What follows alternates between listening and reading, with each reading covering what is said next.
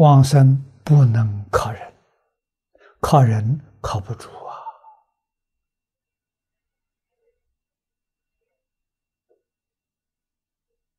现在就连助念都不保险了啊！助念的人说他心不清净，他很着急。哎呀，你到底有没有往生啊？听说往生头上发热，这一会摸一下，一会摸一下，知道吧？你说你烦不烦恼？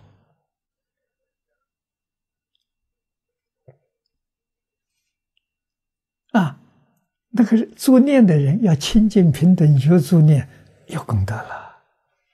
心浮气躁了助念，我相信那个磁场不是往生人所希望的。啊，心心浮气躁这种磁场是极不稳定啊，在那个磁场里，他怎么会得到清净心呢？这些道理你总得要懂啊！万事总不离理，你把理抓抓掌握到啊！所以你看，印光大师文钞里头常常劝人，人在临终帮他作念，不要碰他，让他非常安详的走，这个对呀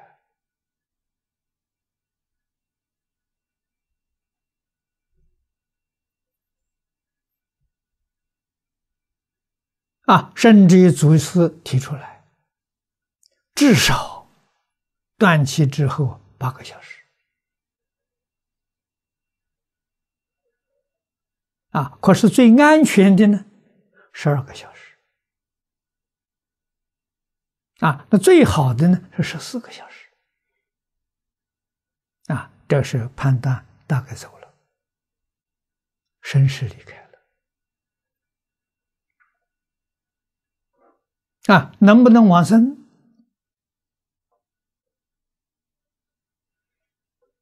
是不是真往生？有两个最可靠的信息。第一个，他临走的时候还没断气，见到佛来接引，告诉身边大众：“佛来接我去了，我走了。”这真。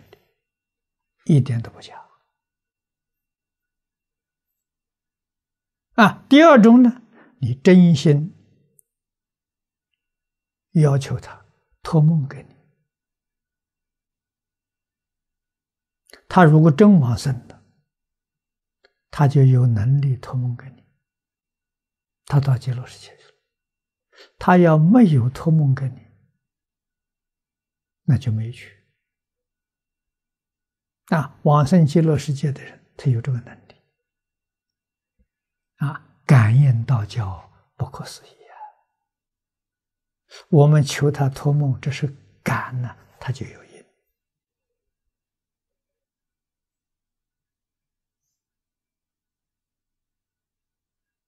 啊，虽然没有应，他走得很好，走得很安详。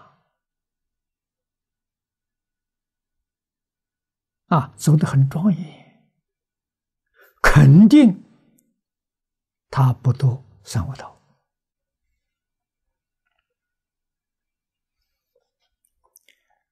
这是靠得住的啊，这个没问题。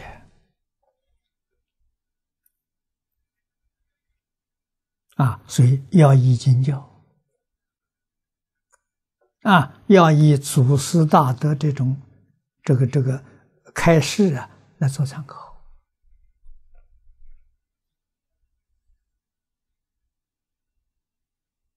啊。实在说，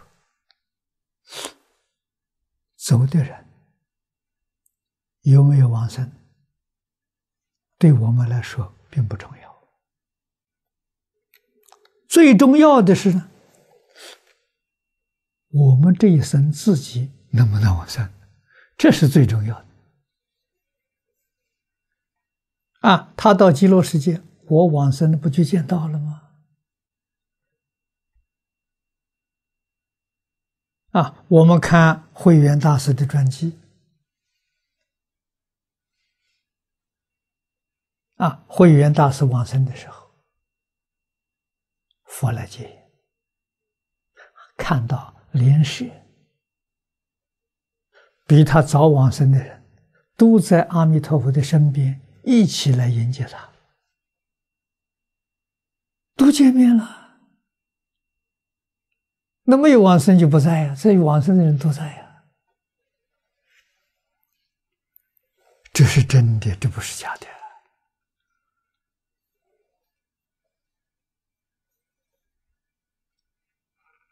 啊，我们要求的是这个，不求别的，绝不扰乱我们自己的清净心。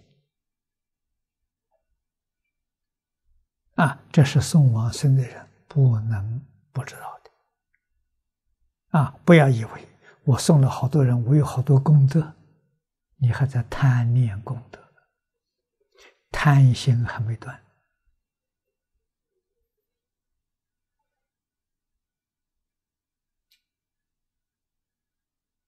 啊，名利没放下，傲慢没放下，啊，一生的烦恼习气，这个都是自己麻烦地方啊，不能不知道。